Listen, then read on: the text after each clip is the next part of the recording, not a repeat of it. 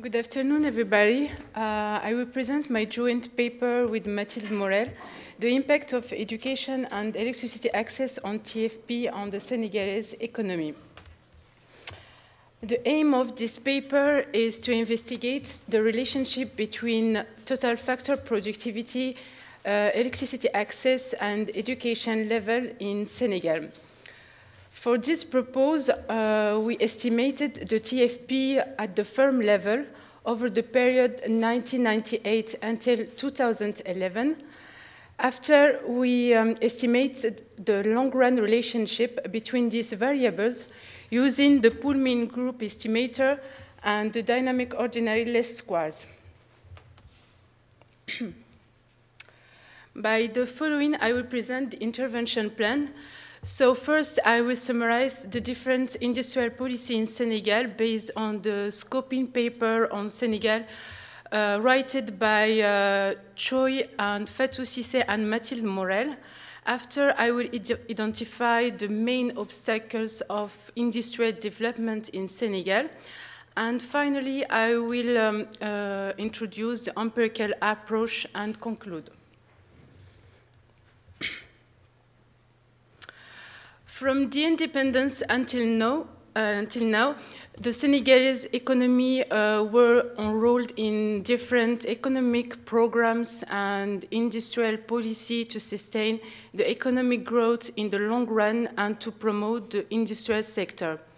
The first graph compares the per capita GDP on Senegal and the other uh, Western African economies and uh, we can identify four major periods and uh, three major events. Uh, from the independence till the 70s, um, we can see that the per capita GDP rise in Senegal, but still remains below the level of other Western African economies. In 1980, the government uh, adopt the first adjustment program to cope with um, the decline of macroeconomic aggregates and to achieve a balance of uh, budgetary public uh, of public budget budgetary sorry. But this program failed, and the main reason identified for this is the currency misalignment. After the devaluation of 1994 and with the support of International Monetary Fund, the government uh, launched a series of economic reforms and um, an industrial policy to sustain the economic growth in the long run. So over the period from uh, over the period 2000 until the financial, financial crisis, the per capita GDP grows but remains unstable.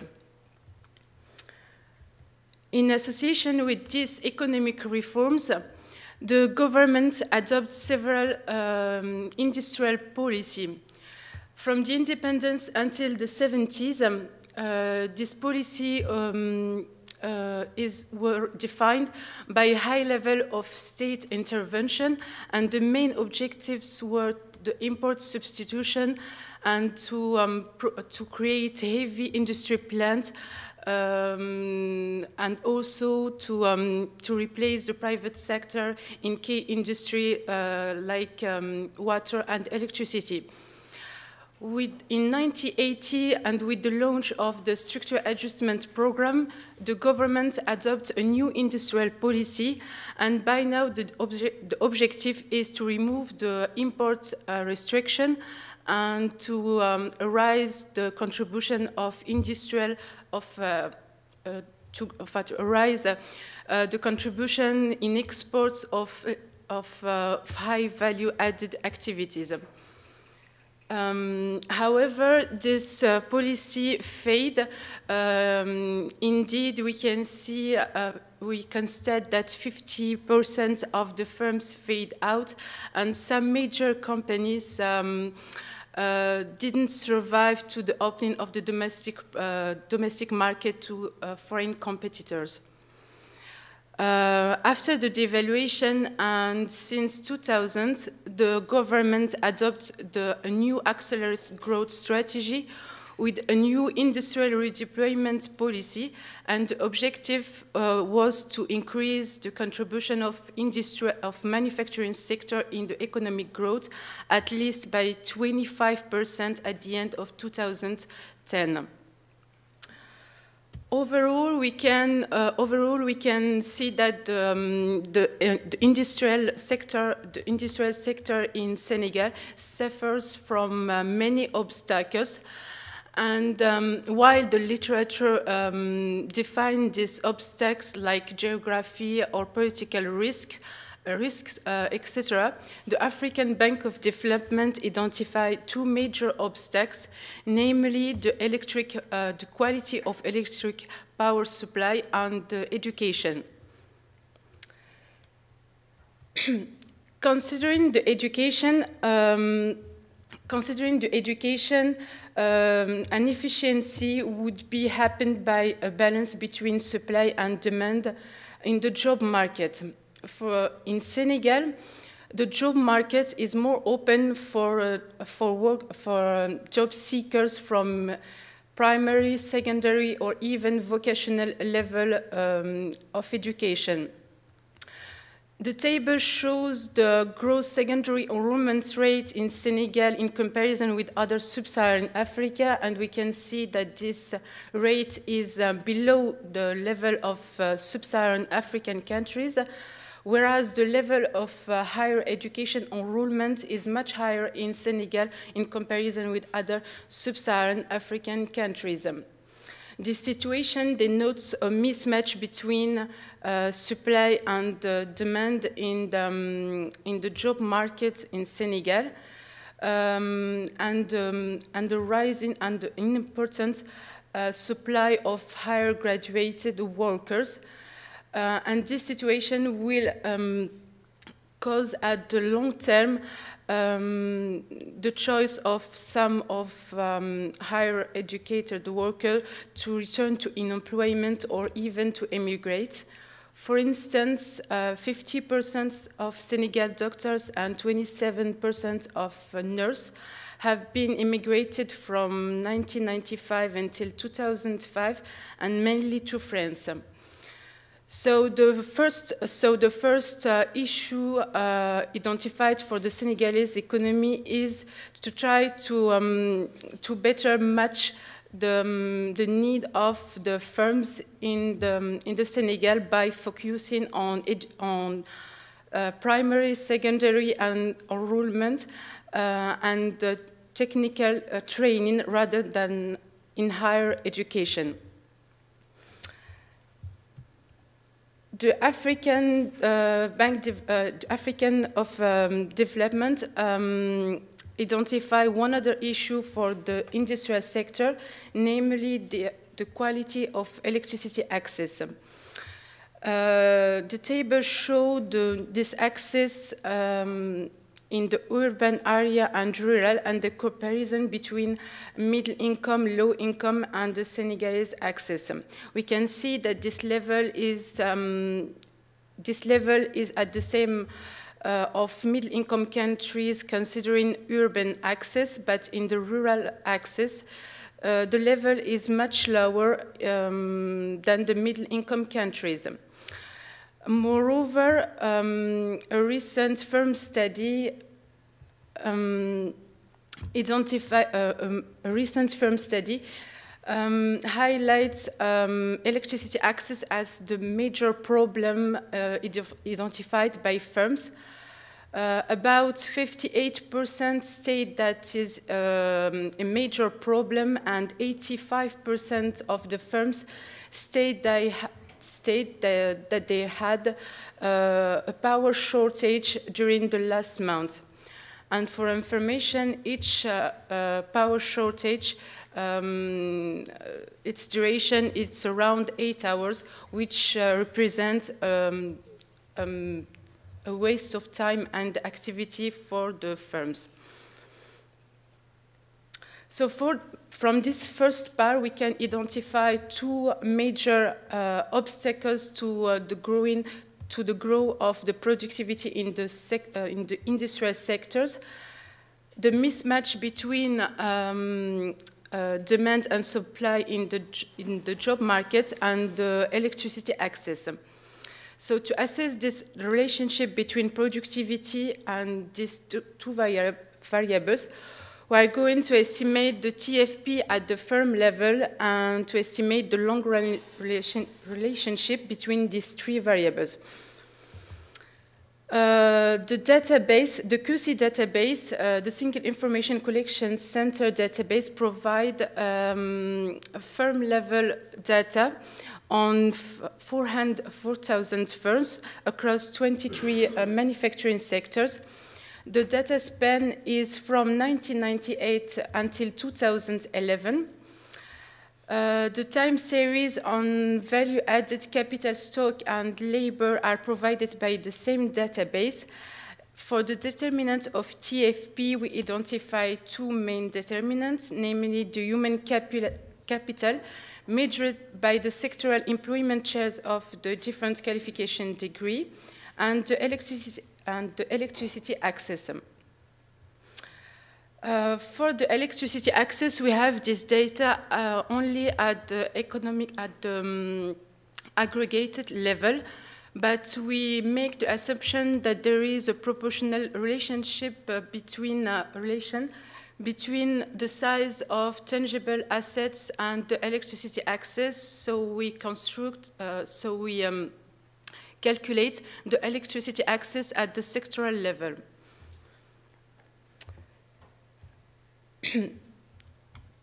then the first part is the estimation of the TFP, and for this we, um, we consider a standard Cobb-Douglas uh, production function, and we estimated using uh, ordinary least squares with fixed effects. Uh, and the main results are, are the parts, um, the share of uh, labor around 54%, uh, and the share of capital is around 46%, which is in line with the finding of uh, recent study, study, made by, um, by the OCDE. The graph shows the um, distribution of annual average growth through uh, the 23 sector, and we can see that for the extractive um, uh, industries, uh, the productivity is much higher, uh, whereas for uh, food industry and food production industry and um, uh, footwear, the productivity is much negative.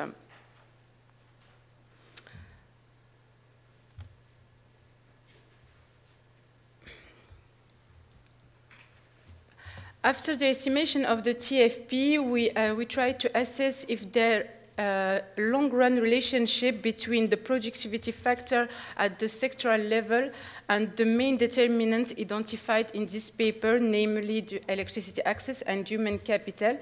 So before proceeding to the test, uh, to the estimation, we need to make some tests. Uh, the first one is uh, the first one. Uh, the first one is to test if there is some cross-section dependence between the sector uh, that means uh, we try to control if there is some unobserved factor which can affect all the sector, such financial crisis or some economic reforms decided and which could uh, affect all the sector.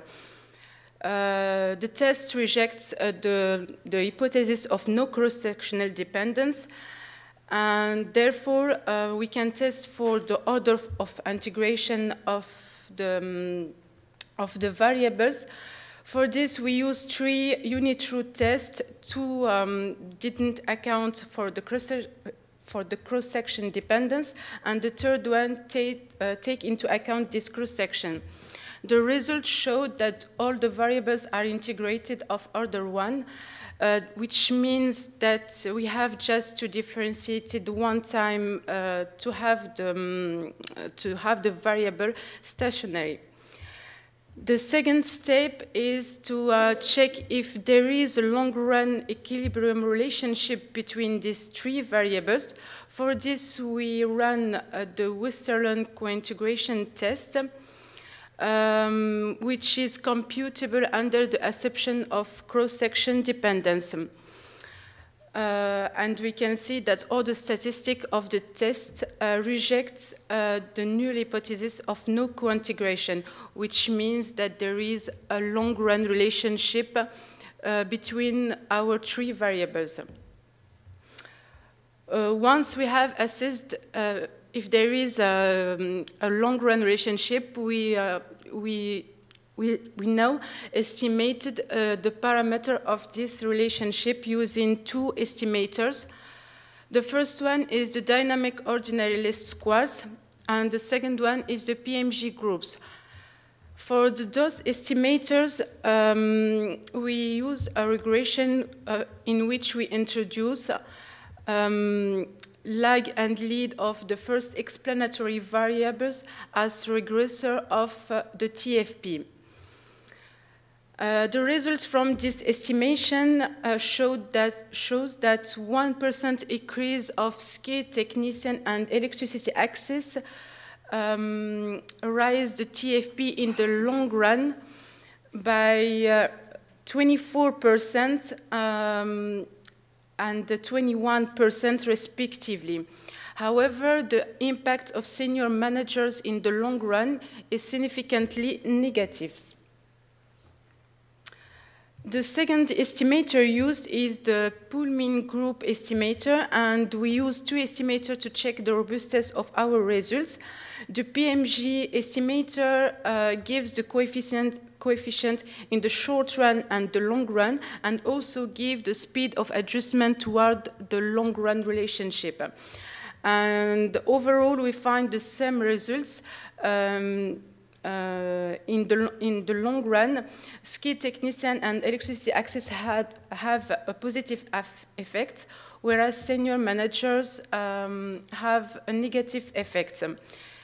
This uh, relationship is different in, if we consider the short run, uh, in sense of um, senior managers have a, a, positive effect, which means that high-skilled uh, high -skilled, um, workers um, impact positively uh, the TFP only in the short run, but in the long run, this effect wears off.